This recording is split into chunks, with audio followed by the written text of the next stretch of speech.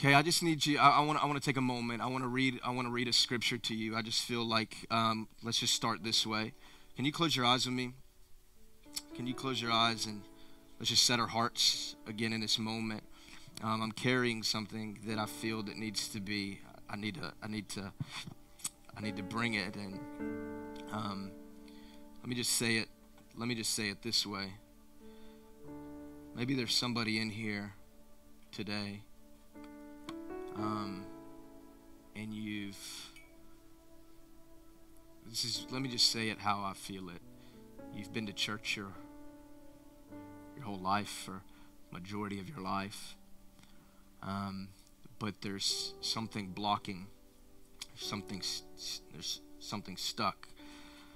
Um, and the word I want to bring today is, I think, very important for us to not just hear it, but to hear it.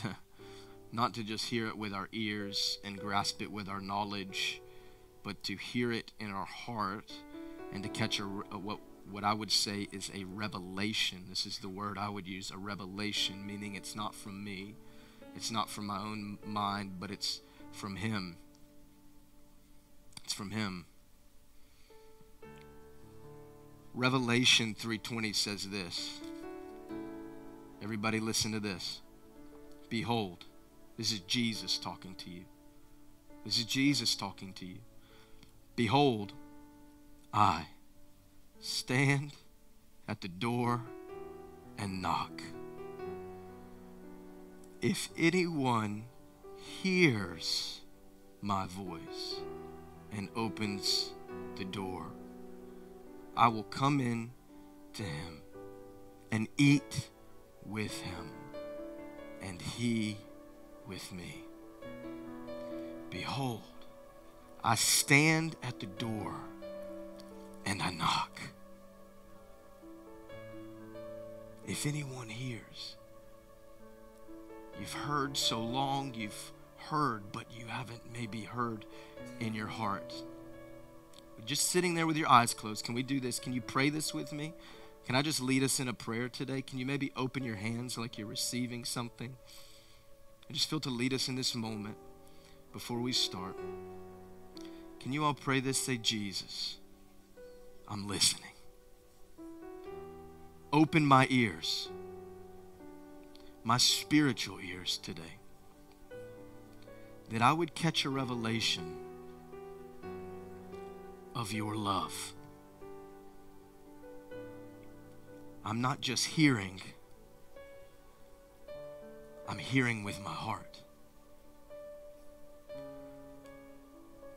Thank you for your word, that it changes me. And I'm ready. In Jesus' name, amen. God, I just prayed today that your word doesn't return to you void as you promised it. I just speak right now against a deaf and dumb spirit. The enemy that would try to close our spiritual ears so that we would walk out of here without hearing what you want to say to us. And I speak right now that our ears would be attentive to a stranger's voice we would not follow, but we hear the great shepherd's voice. In Jesus' name. Amen. Amen. Thank you, Christine. Thank you so much. Good. Okay, can I preach? We're all listening now. We're hearing. I felt that last night as I was um, as I was praying and woke up this morning. God was really speaking to me on that.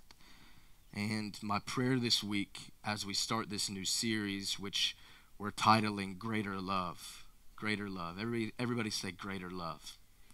Greater love it's not just because it's February and Valentine's Day that we're speaking about love, but I felt it was um, important in the rhythm, uh, the spiritual rhythm of our church to hear this and to grasp this. And my prayer this week was, God, that we would catch a revelation of love. God, I don't want to. I, I, was I was preparing for the message and I hit my knees and I didn't want to just to to preach a, a message about God's love for us, but I wanted to catch a revelation of God's love, something that changes us and shifts us from the inside out. That's my heart today. So I need you to be with me, okay? So I want to I want I'm titling this message today in love. In love. Woo.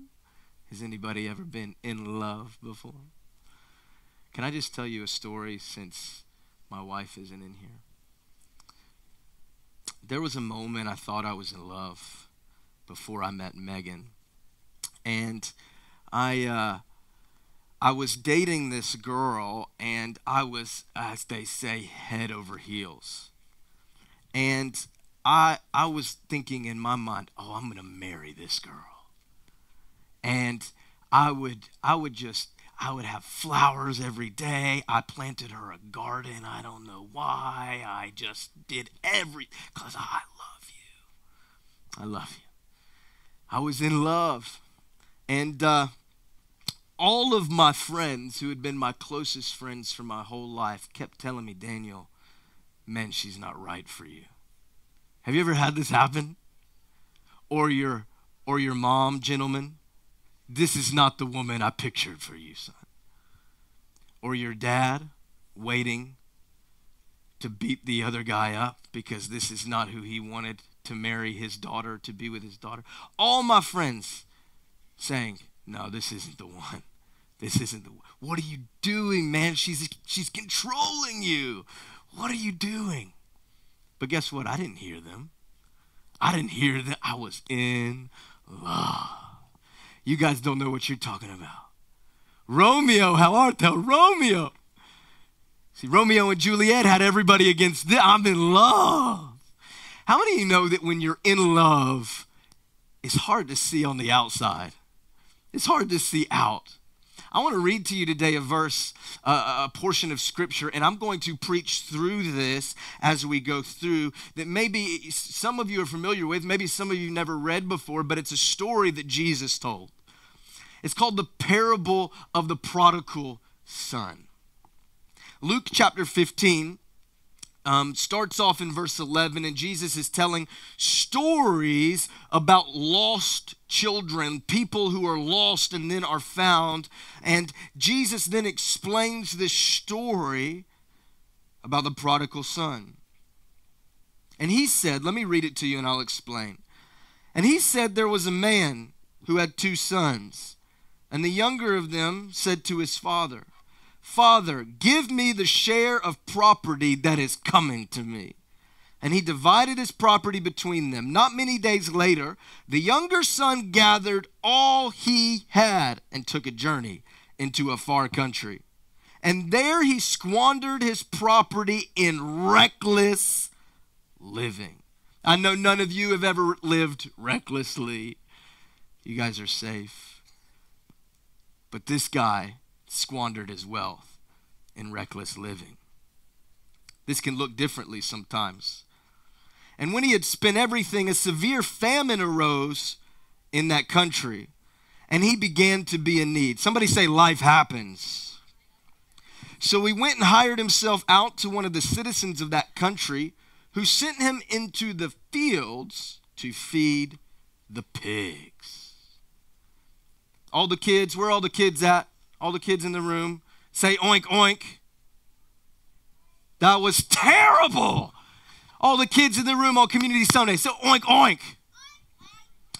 This boy left his dad's house and, and then got a job feeding pigs. Any of you guys want a job? Make some money to go feed the pigs?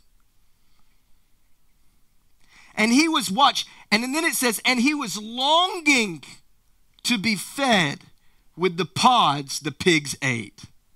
And no one gave him anything. He wanted to eat pig's food. And still, he couldn't eat pig's food. He was so hungry.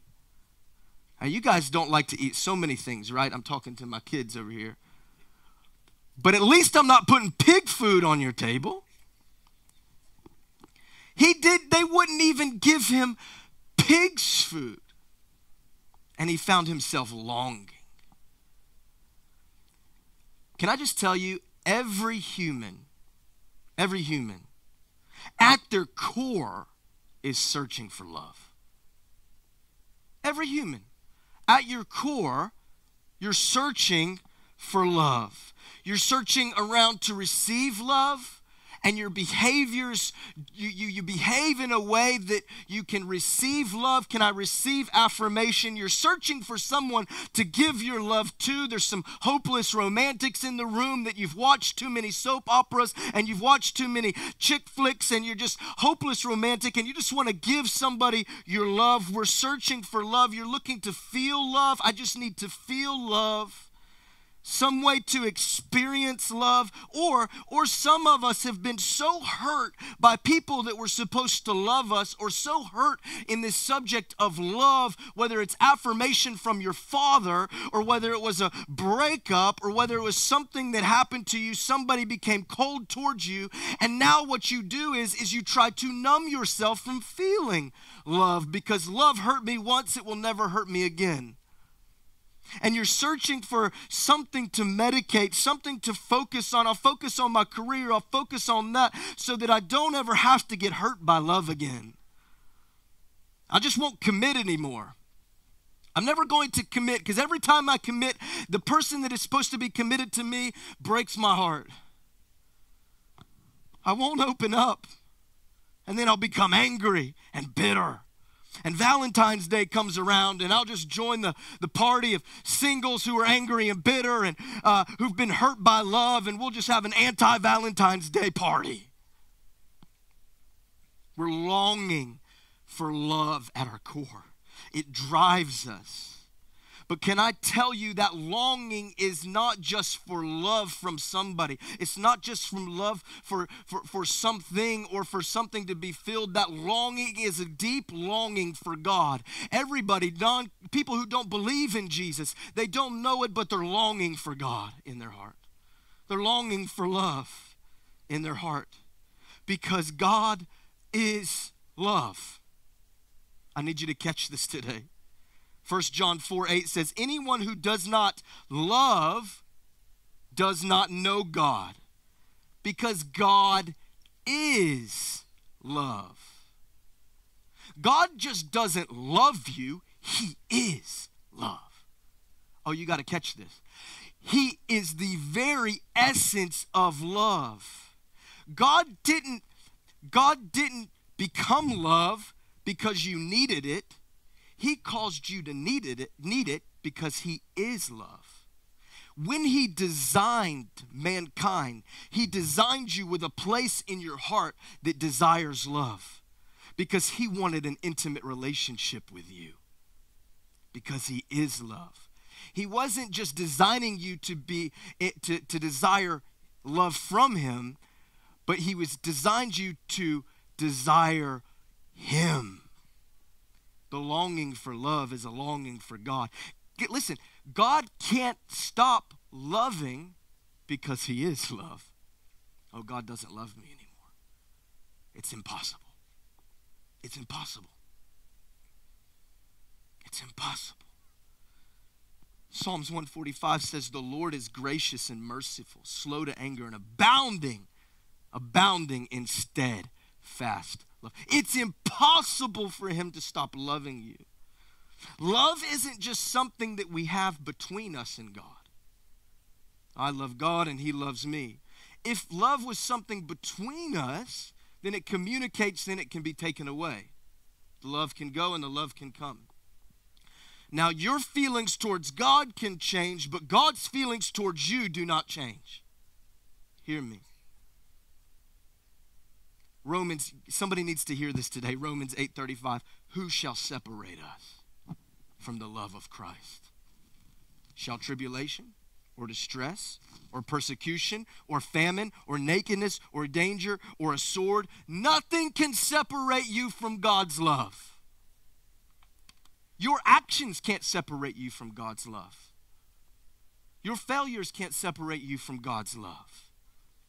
Here's the revelation I want you to catch today if you catch nothing else God is love. When I am in his presence, I'm in love. Everybody say in love. I'm just talking about in love. I'm talking about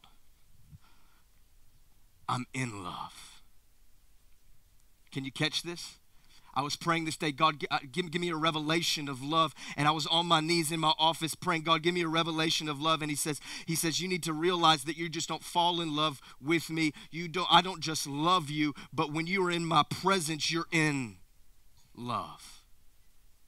When you're in my presence, you're in love. That's why the son in the story of the prodigal son, he was in the presence of the father. You have to know the story is about God and you. It's about God and you. It's about the love of the Father. It's about his love towards his people. It's about the fact that, that the Son thought there was something better on the outside, so he decided to leave the presence of the Father and go chase something else. And then when he realized that that couldn't fill his need for love, it couldn't fill his need for affirmation, it couldn't fill his desires, he was longing to be back at the Father's house in the presence of love. We all desire love. When I'm in his presence, I'm in his love. Continuing the story, it, it says that the, the son, it says, but when he came to himself, he said, How many of my father's hired servants have more than enough bread, but I perish here with hunger? Can I tell you, when you're in love, when you're in God's presence, you don't have to look anywhere else. You don't have to search anywhere else for love. You don't have to search anywhere else for acceptance. Yeah, sure, you could get a pat on the back, you can be encouraged, but ultimately, if everybody says, I hate you, if everybody says that you're the worst, that you can be confirmed and you can be solid and you can stand in a foundation that says, I'm in his presence and I'm in his love. Everybody else can hate me, but God loves me because I'm in love. The son says, I will arise and go to my father, and I will say to him, Father, I have sinned against heaven and before you. I'm no longer worthy to be called your son. How many of us have felt like this in our approach to God? I'm no longer worthy. I've done too much. I've, I've broken so many rules. I've, I've committed so many sins. I've hurt so many people. I've left a wake of destruction in my past. I'm dry. I'm weary. I feel, don't feel worthy anymore. And he says, Treat me as one of your hired servants. And he rose and came to his father. But watch this, I need you to catch this picture. But while he was still a long way off, his father saw him.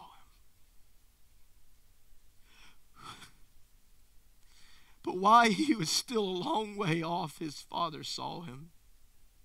While you're so far gone, why you're a long way off, why you've ran away, God still sees you. Oh, you're a long way off. God sees you. God knows you. God sees you. God's love towards you is not determined by your actions. God's love towards you is not determined by your love towards Him.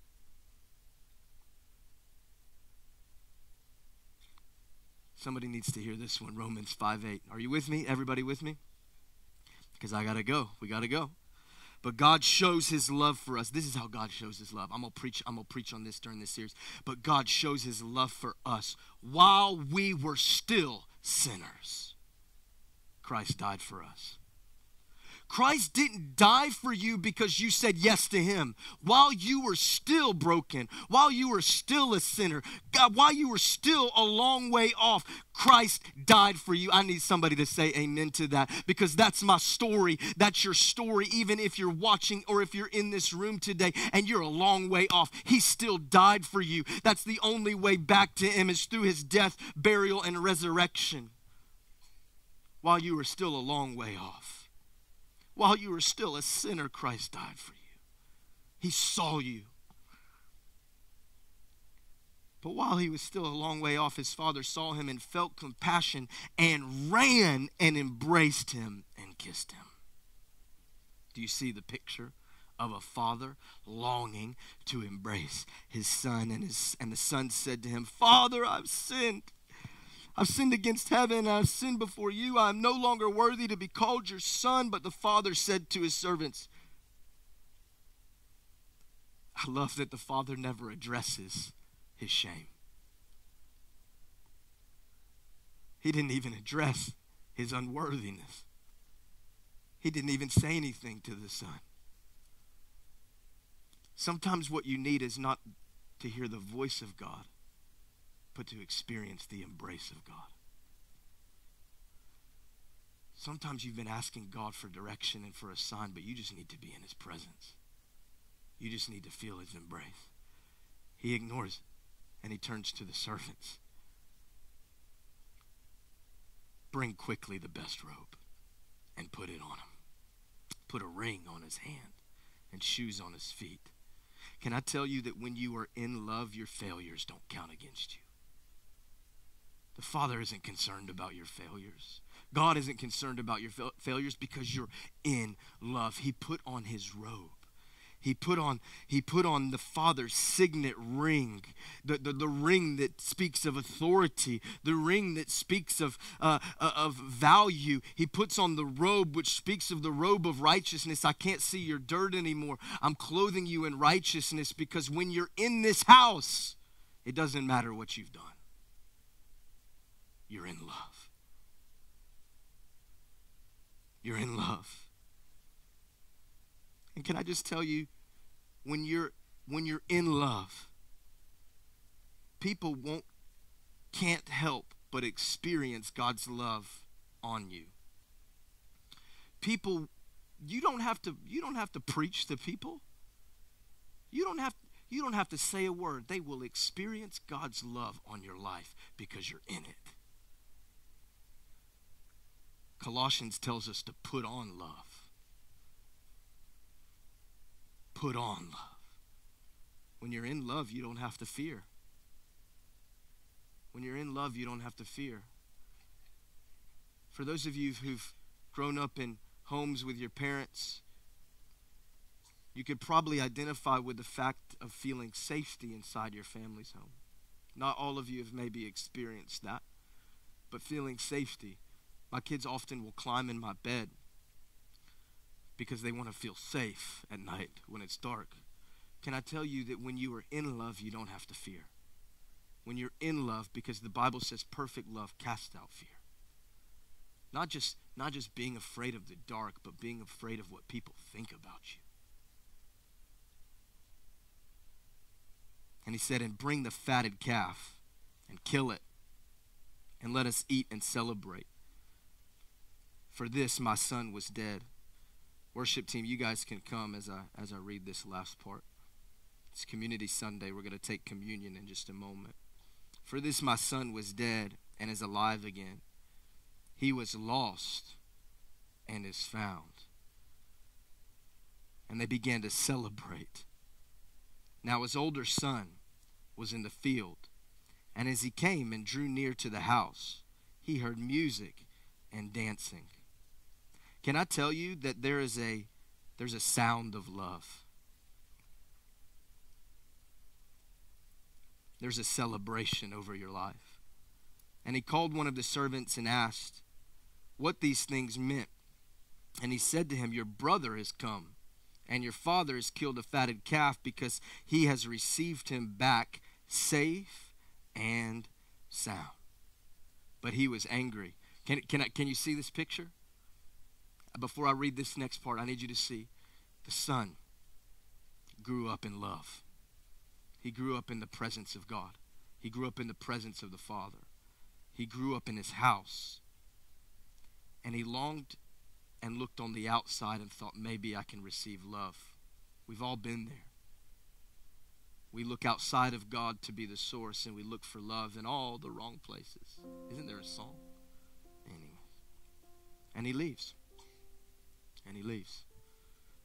He realizes that that love will never satisfy him, and the only love that will ever satisfy him is to be in his Father's presence, in the presence of God.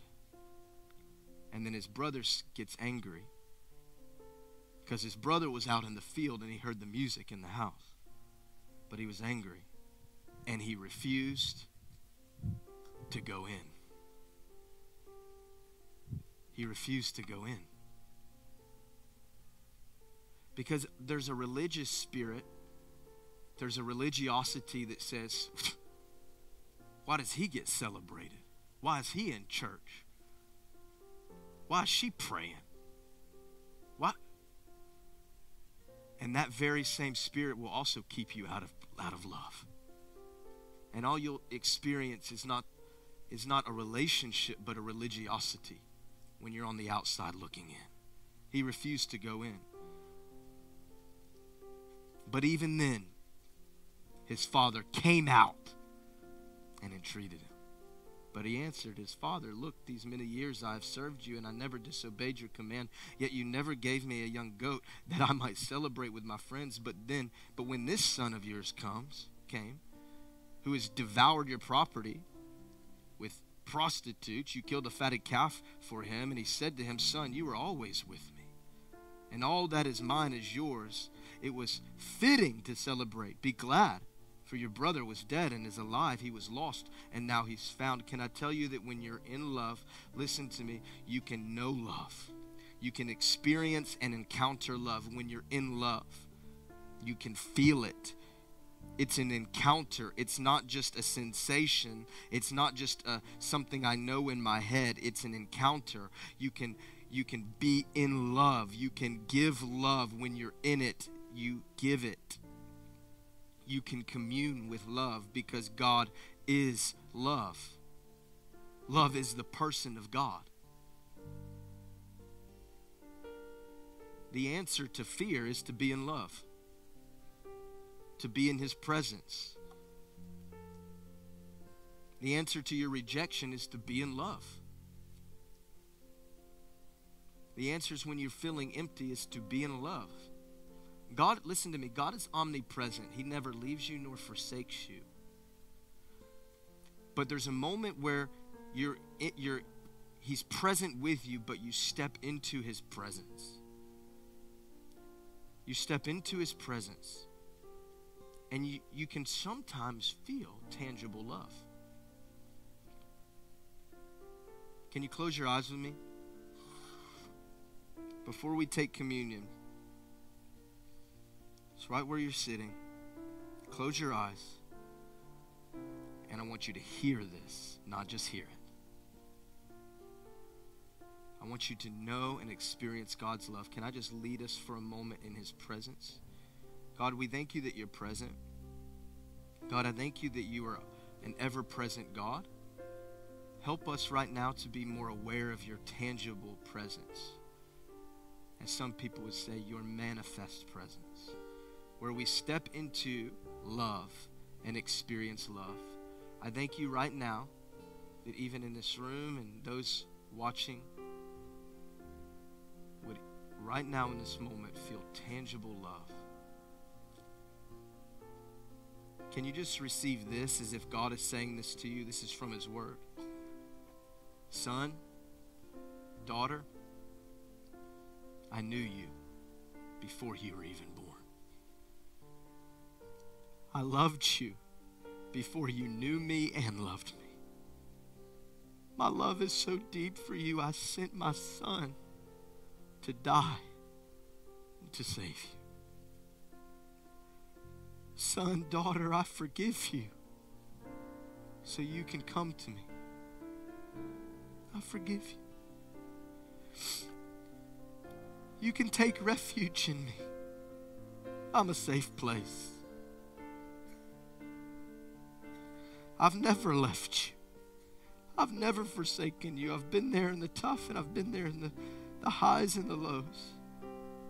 You, son, daughter, are fearfully, wonderfully made. I'm inviting you to come to me when you are weary and when you're burdened. Come to me, and I'll give you rest. I see you. I see you. And I know you. I've numbered every hair on your head. I see you even when you're a long way off. Before you ever chose me, I chose you. You will never be able to fully grasp my love for you, but I'll need you to experience it. God, and I just thank you that you you are love. Thank you that it, your love right now in this moment changes us, touches a place deep in our heart that we've been longing for, that we've been looking for in other things and other places.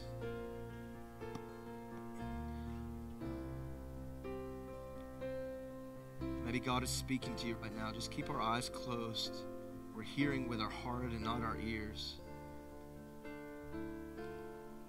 Today, maybe you are here, and the reason you're here is to hear that there's a Heavenly Father who loves you.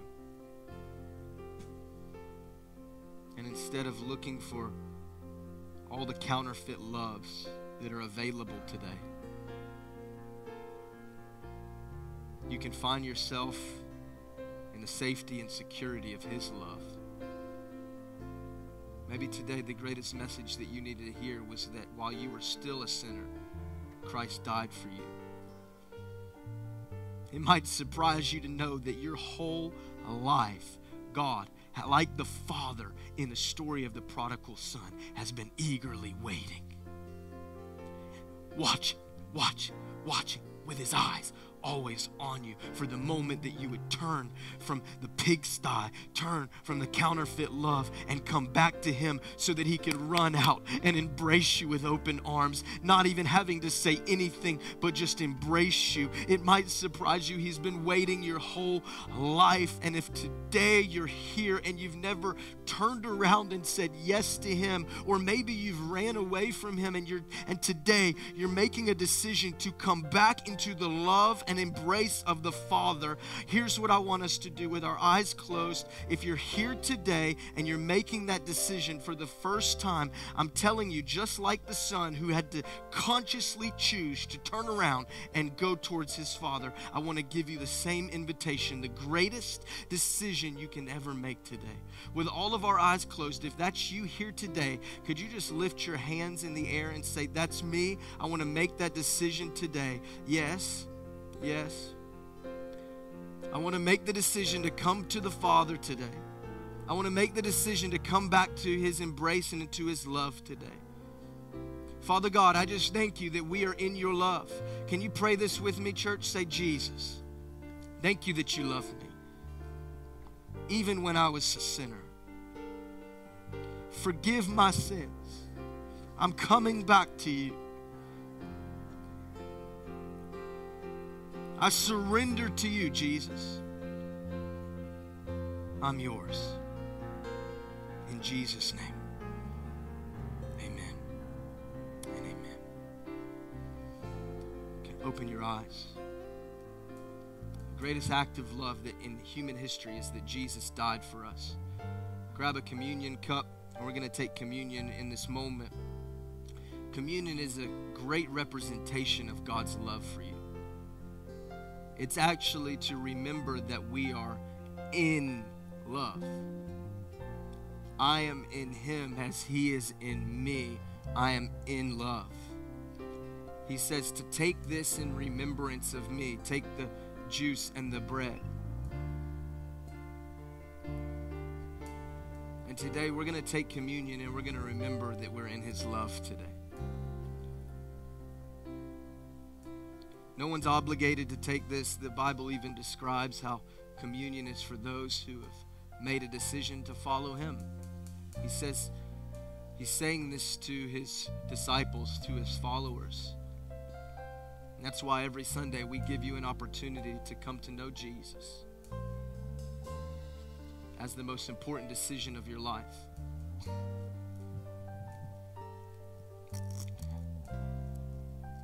Bread is just on the top, the cellophane, and then you open the, the second portion to get to the juice. Let me pray over the bread and over the juice today. And that we're not just taking another religious sacrament, but we're taking a, a holy covenant making sacrament that says we are in Him. God, I thank you that we're in you. And it was by what you did on the cross, your death, that your body was broken, that your blood was shed, that it drew up a covenant between us and you. that says we are in you and you are in us, that we are new creations in Christ Jesus, that the old is gone and the new has come. God, I thank you that your body was broken for us so that we could be healed. Your blood was shed for our iniquities and our deep and rooted sins. You put them on yourself and died with them on the cross. I thank you that our old self is gone and our new has come. Help us to be more aware of your love today. In Jesus' name, amen and amen. You can take the bread juice today. Can we just worship one last time together? You can stand to your feet as you finish taking communion. Let's just focus in on the love of God today. We're in His love, Jesus. Thank you, God, that you cause us to be in you. Cause us to be in you, Jesus. We worship you. We worship you, Jesus.